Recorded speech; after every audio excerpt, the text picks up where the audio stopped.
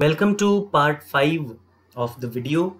This is Rise of Nationalism in India part 5. In this video, we will discuss about the collective belonging, measures which were practiced in India. Welcome to the video. Now before going into the measures, I'll give you a brief introduction. Nationalism spreads when people begin to believe that they are all part of the same nation, isn't it? When they discover some unity that binds them together. But how did the nation become a reality in the hands of these people? How did people belonging to different communities, regions, or language groups develop a sense of collective belonging? Don't you want to know?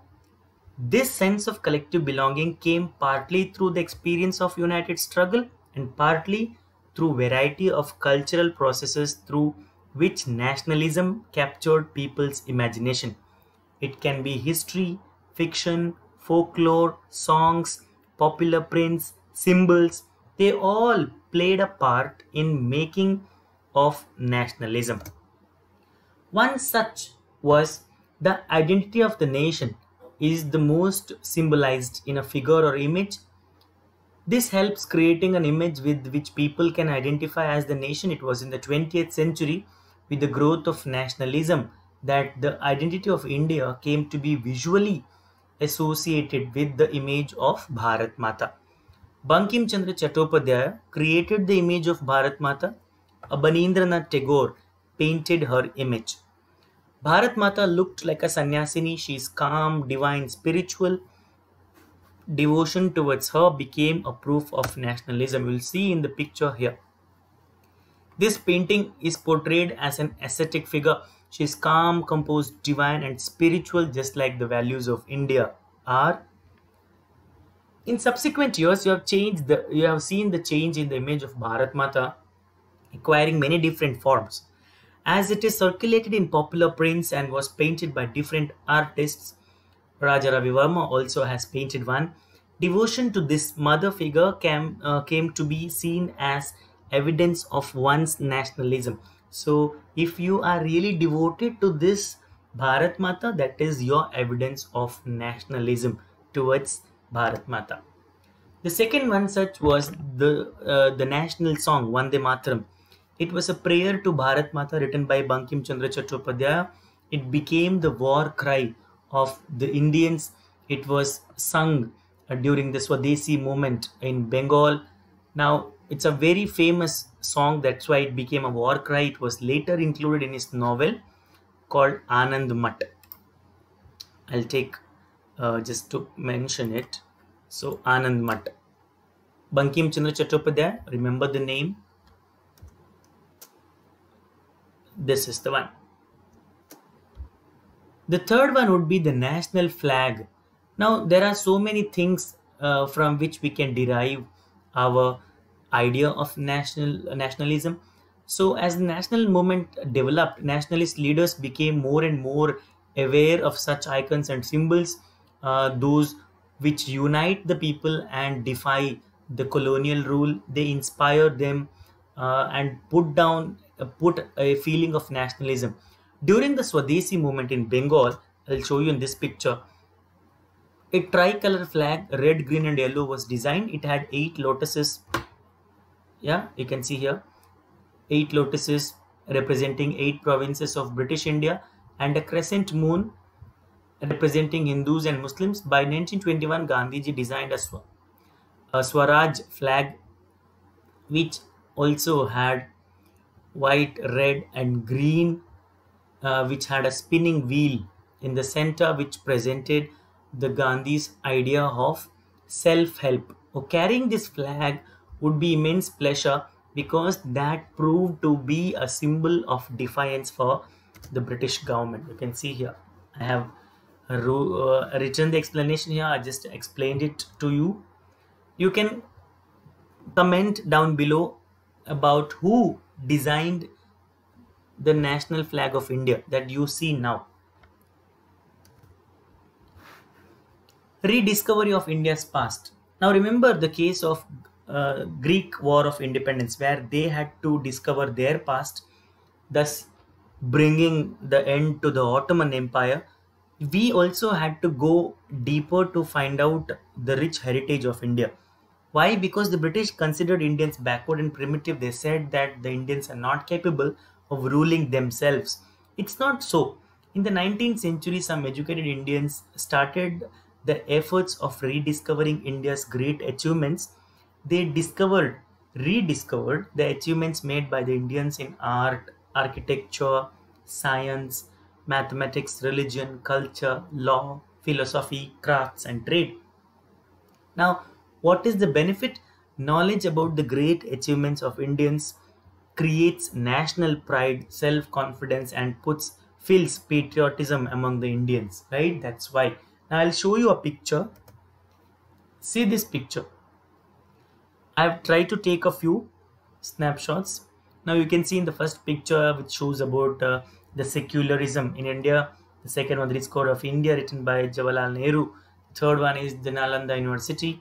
Fourth one is Charaka here. You can see Aryabhatta, the contribution of Charaka and Aryabhatta to science, the contribution of Nalanda University to the field of education and the diversity in India.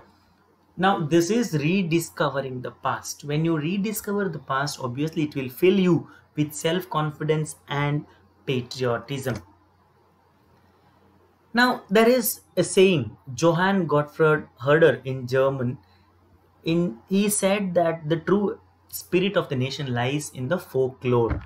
So the same thing happened in India too, where it became another means of finding out or uh, instilling the idea of nationalism to find it in the folklore. So ideas of nationalism developed to a movement to revive the folklore Indian nationalists began recording folk tales. They toured villages to gather folk songs and legends. Uh, these tales believed to be giving a picture of the traditional culture that had been corrupted and damaged by the outside forces. Uh, two such things happened. One happened in Bengal, where Rabindranath Tagore himself began collecting ballads, nursery rhymes, and myths and led a movement for folk tale revival. In Madras, it happened that a person called Natesha Shastri published a massive four volume collection of Tamil folk tales called The Folklore of Southern India or The Tales of the Sun. This is the book. Right, this I already explained. Remember the name Natesha Shastri. Now that brings to the end of the, the chapter. Now remember, these efforts to unify people were not without problems. When the past being glorified was Hindu, when the images celebrated were drawn from Hindu iconography, the people of other communities felt left out. So obviously it would create some kind of problems, right?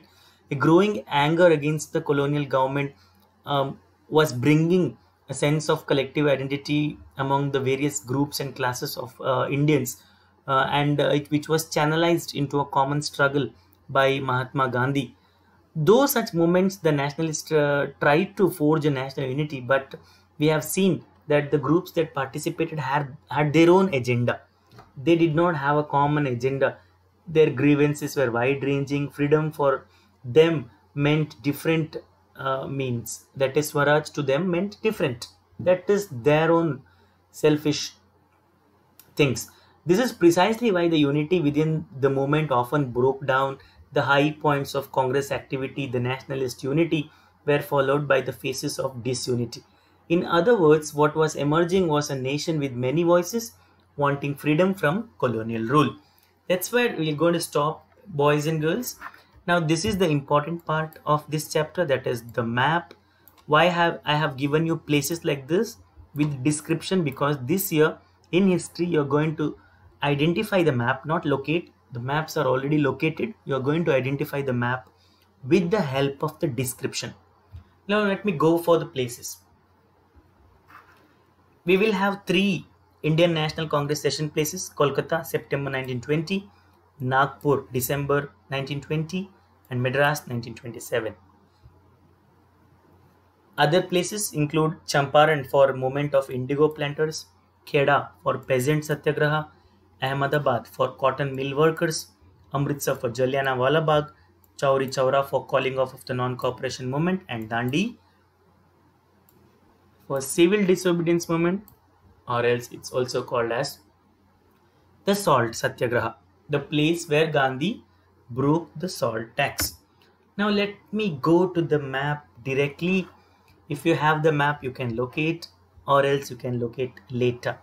Now let's start by locating the places of indian national congress. This is kolkata right? In bengal this is nagpur where the inc session of 1920 happened in december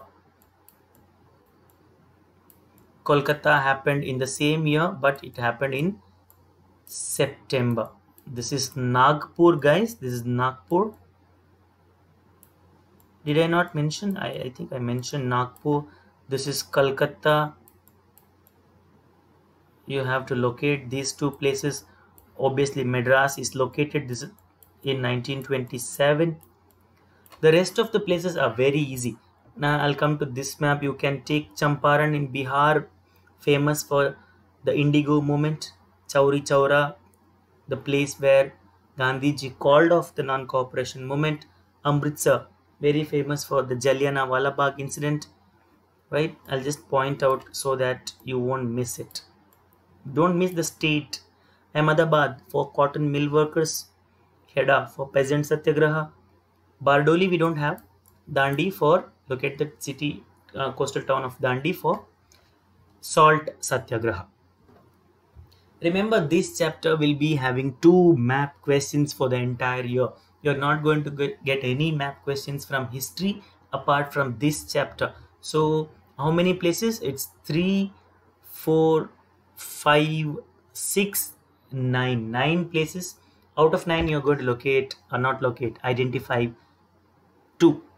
It used to be three. Now last year they have reduced it to two so all the best locating and identifying and i hope you have understood uh, the whole chapter as a whole. And if you have any questions you know where to get them clarified.